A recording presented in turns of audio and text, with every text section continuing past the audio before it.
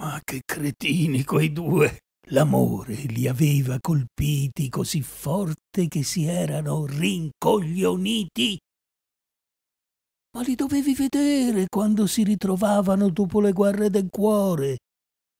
Lui l'accarezzava sulla guancia e l'universo non contava più un cazzo.